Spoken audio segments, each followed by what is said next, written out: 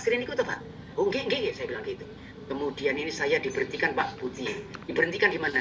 Di depannya persis warung Mbak Sri. Ya, itu fasilitas yang luar biasa Pak. Di mana di dunia bisa begitu? Di mana di dunia bis bisa diberhentikan di muka warung itu? Di mana? Tapi kita tidak hitung, yo, tidak itu. Kita cuma bicara Shinkansen. Kita berarti CV kan gitu. Kita tidak bicara bis mau berhenti di depan warung. Nah. Kemudian saya turun, Pak. Kebetulan hujan, saya tutupi kepala saya, saya masuk ke warung. Belum duduk, round 30 second, 30 sekon, tidak sampai datang gadis kecil. Nedung apa? La ilaha illallah Muhammad Rasulullah, betapa mulianya. Saya bilang nasi rawon. Dia pergi dengan penuh penghormatan. Tidak sampai 30 sekon sudah datang lagi, Pak. Bawa nasi rawon, Pak.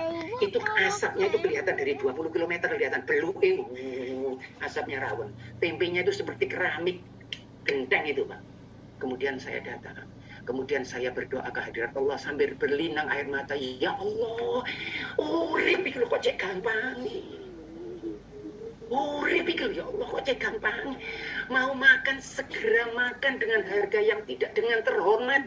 Bapak kalau di luar negeri itu makan kadang-kadang suruh antri. Suruh antri makan. Kita makan dengan terhormat. Itu negara tercinta. Yang mbok disayang negara ini.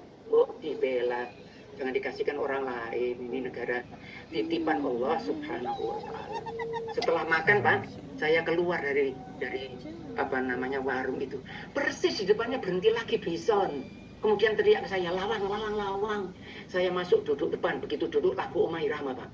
Lagunya Oma Irama berdendang gitu dan bayarnya 3000 maka itu sebagai penutup.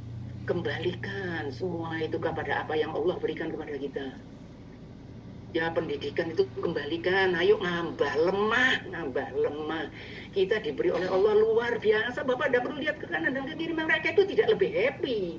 Kita ini salah dalam menentukan kriteria. Kalau saya tanya Bapak dan Ibu mana negara yang sukses? Bapak tidak mungkin berani mengatakan Indonesia ini negara yang sukses. Tapi saya berani. Indonesia ini negara yang sukses. Relatif ya relatif. Karena sukses itu apa sih sebetulnya? Sukses itu teknologi, teknologinya maju. Itu itu sukses sukses itu orang yang hidupnya tenteram, yang hidupnya bahagia. Kita lebih bahagia, Bapak. Lihat itu, orang itu kalau di Perancis itu menunggu liburan nanti untuk santai di depan kafe-kafe. Orang-orang kita setiap malam cangkruan di kafe itu. Aduh, belum soal kafenya kan kafe biasa, Pak. Menurut kamu biasa. Tapi menurut mereka itu happiness. Happiness itu yang dicari, ketenteraman. Ya, kita berdoa kehadirat Allah Subhanahu wa taala. Mudah-mudahan negara kita dilindungi oleh Allah Subhanahu wa taala. Ya, Amin. Mudah-mudahan negara kita ini diberi kehidupan yang baik. Para pemimpin kita dan kita, para pemimpin kita diberi, anu sadar diberi daya, diberi daya supaya mencintai bangsanya ini loh titipan Allah ini mencintai benar-benar dan nanti ditanya loh ya bapak-bapak ini yang mengaku nasionalis nanti di hadapan Allah munkar dan nakir tanya loh